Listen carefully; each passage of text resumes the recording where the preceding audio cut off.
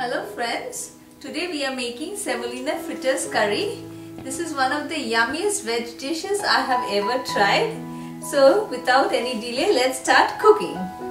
So for the ingredients, I have 1 cup of semolina or suji, half cup of besan or gram flour, 1 teaspoon turmeric powder, 1 and a half teaspoon red chili powder, coriander powder around 1 and a half teaspoon, garlic paste 1 teaspoon, some salt to taste and half teaspoon garam masala powder. Here I have some fried onions, roasted peanuts and roasted fresh coconut and some coriander leaves, two green chilies and another inch of ginger which I have roughly chopped because I am going to make a puree out of all this and some coriander leaves for garnishing 1 teaspoon of mustard seeds and of course white oil for cooking. So let's start. We'll first make the puree of our onion, brown onion which I've already fried, peanut, coconut, coriander, green chilies and ginger. So first I'm putting in the fried onions. Coconut I have here around half cup which I have dry roasted and around 1 4th cup of peanuts which also I have dry roasted. And next we'll add in our coriander leaves, ginger and green chilies. I'll add in a little bit of water and make a fine paste. So our paste is ready and this is the consistency we want in our paste. It is pretty smooth. Now we'll go on to making the semolina fritters and then cook it in the gravy. So for the fritters first we'll add in our semolina 1 cup and half cup of besan to which we'll add half of our garlic paste and 1 teaspoon of or half teaspoon of red chili powder and a pinch of turmeric, some salt to taste and 1 big teaspoon of our grinded paste. And we need to make this like a dough for our rotis. It shouldn't be very smooth or very runny. It shouldn't be very hard or very soft. I'll gradually add in some water. So my dough is ready. This is neither too soft or runny, neither hard. And we need to set this dough for at least 10 minutes before we roll it and make the fritters. So out of my suji dough, I'm making two balls and I'm going to roll it with some wheat flour. Make it like a roti only, not much of a difference. So I have flattened it like a roti. You can check the thickness, it's just like a roti. Now I'm going to make cuts in it. You can cut it any shape you like.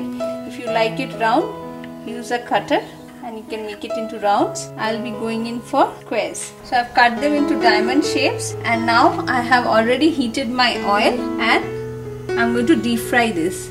As you can see, as it starts cooking, it will rise up and start floating in the oil.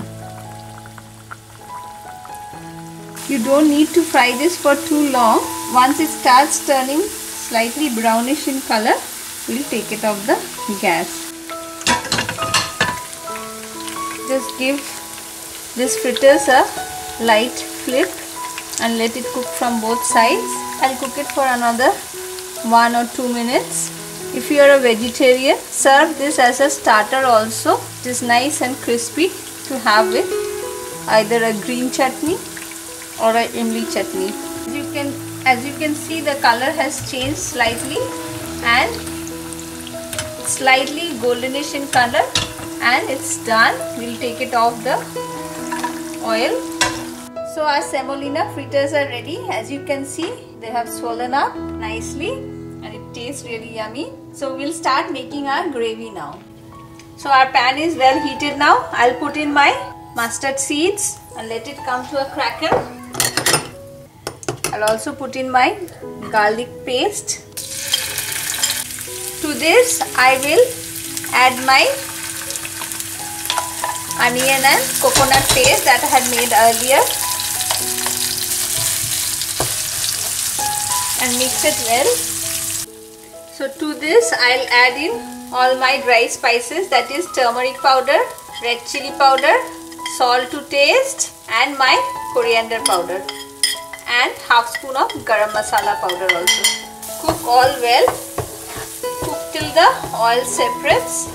I'll cover it. Cook it for 4 minutes. So as you can see the oil has started separating. And now I'll add in around 1 cup of water. But if you want more gravy you can adjust it accordingly. As you can see my gravy is still pretty thick so I'll add in some more water. Another half cup and cover it and cook it till it comes to a boil my gravy has come to a boil and I'll add in my fritters now mix it and let it cook for 2-3 minutes. The fritters will absorb all in all the gravy in and make the fritters even more tastier. It's been around 2 minutes and curry is ready so we'll do the serving now. Finally we'll garnish with some coriander leaves from top and our semolina fritters curry is ready to be served. So friends, here is my semolina fritters curry and this is best served with roti or paratha. Do try it at home and I'm sure you're going to enjoy it as much as I do. And don't forget to like and subscribe to my channel. Thank you for watching once again.